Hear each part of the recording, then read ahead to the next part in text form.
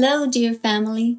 Thank you for joining us for another episode of The Bible Says. Today, I want to ask Are you or have you ever been at a time in your life that you feel you're hopeless? You just know that in your heart, you've committed too many sins, committed too many horrific crimes to ever come into the presence of our Heavenly Father to ask for His forgiveness let alone to ask anyone else's forgiveness. You feel you're in such a state of darkness that you can't see past those storm clouds to see the light of day. If so, I want to share two Bible stories that will give you hope and encouragement. The first story is taken from Mark chapter 5 verses 1 through 20. And they came over unto the other side of the sea, into the country of the Gadarenes. And when he was come out of the ship, immediately there met him out of the tombs a man with an unclean spirit, who had his dwelling among the tombs. And no man could bind him, no, not with chains, because that he had been often bound with fetters and chains, and the chains had been plucked asunder by him and the fetters broken in pieces. Neither could any man tame him. And always, night and day, he was in the mountains and in the tombs crying and cutting himself with stones. But when he saw Jesus afar off, he ran and worshipped him, and cried with a loud voice and said, What have I to do with thee, Jesus, thou Son of the Most High God?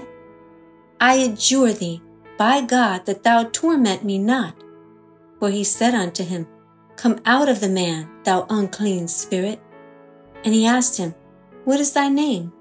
And he answered, saying, My name is Legion, for we are many. And he besought him much that he would not send them away out of the country.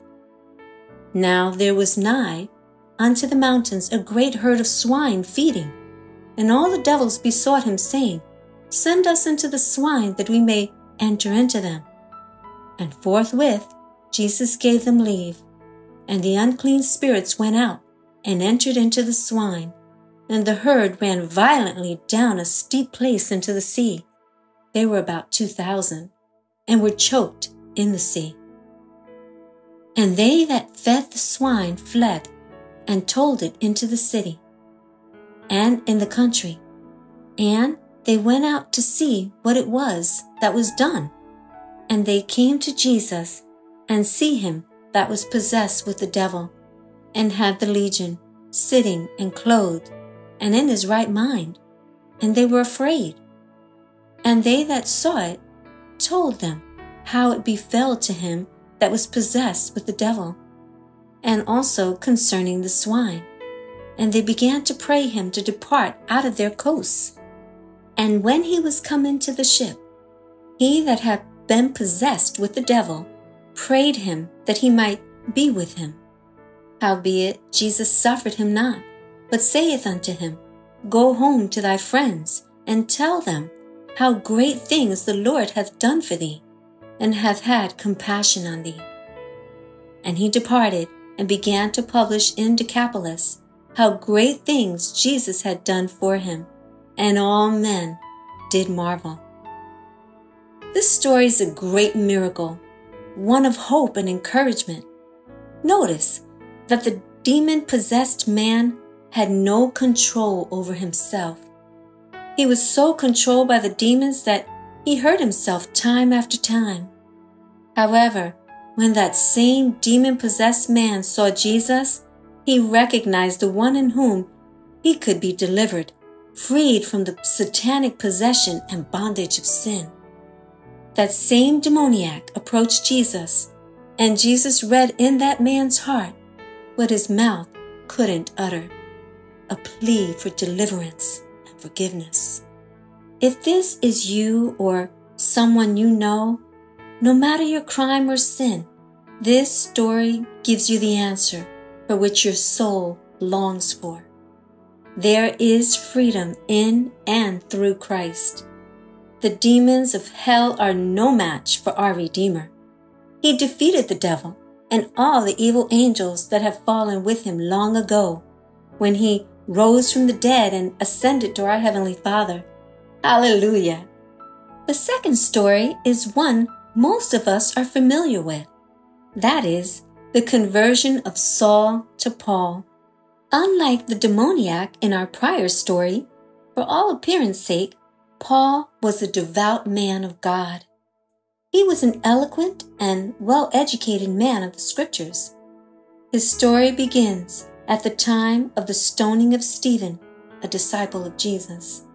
Let's take a look at that in Acts chapter 7, verses 57 and 58, which reads Then they cried out with a loud voice and stopped their ears and ran upon him with one accord and cast him out of the city and stoned him. And the witnesses laid down their clothes at a young man's feet whose name was Saul. The story continues in Acts chapter 8, verses 1 through 4. And Saul was consenting unto his death. And at that time there was a great persecution against the church, which was at Jerusalem. And they were all scattered abroad throughout the regions of Judea and Samaria, except the apostles. And devout men carried Stephen to his burial, and made great lamentation over him. As for Saul, he made havoc of the church entering into every house, and hailing men and women committed them to prison. Therefore, they that were scattered abroad went everywhere preaching the word. Saul was zealous for the Lord. He felt his actions in the persecution of the Christians gave him favor with God. However, unbeknown to Saul, we see that another spirit, not of God, was influencing him. We'll conclude by reading Acts chapter 9, verses 1 through 22. And Saul, yet breathing out threatening and slaughter against the disciples of the Lord, went unto the high priest, and desired of him letters to Damascus, to the synagogues, that if he found any of this way, whether they were men or women, he might bring them bound unto Jerusalem. And as he journeyed, he came near Damascus, and suddenly there shined round about him a light from heaven. And he fell to the earth, and heard a voice saying unto him, Saul, Saul, why persecutest thou me? And he said, Who art thou, Lord? And the Lord said, I am Jesus, whom thou persecutest. It is hard for thee to kick against the pricks. And he, trembling and astonished, said, Lord, what wilt thou have me to do? And the Lord said unto him, Arise and go into the city, and it shall be told thee what thou must do. And the men which journeyed with him stood speechless, hearing a voice, but seeing no man. And Saul arose from the earth, and when his eyes were opened, he saw no man. But they led him by the hand, and brought him into Damascus. And he was three days without sight, and neither did eat nor drink. And there was a certain disciple at Damascus named Ananias. And to him said the Lord in a vision, Ananias? And he said, Behold, I am here, Lord. And the Lord said unto him, Arise, and go into the street, which is called Straight, and inquire in the house of Judas for one called Saul of Tarsus. For behold, he prayeth. And he hath seen in a vision a man named Ananias coming in, and putting his hand on him, that he might receive his sight. Then Ananias answered, Lord, I have heard by many of this man how much evil he hath done to thy saints at Jerusalem. And here he hath authority from the chief priests to bind all that call on thy name. But the Lord said unto him, Go thy way, for he is a chosen vessel unto me, to bear my name before the Gentiles and kings and the children of Israel. For I will shew him how great things he must suffer for my name's sake. And Ananias went his way and entered into the house, and putting his hands on him, said, Brother Saul, the Lord, even Jesus, that appeared unto thee in the way as thou camest, has sent me, that thou mightest receive thy sight, and be filled with the Holy Ghost. And immediately there fell from his eyes as it had been scales. And he received sight forthwith, and arose and was baptized.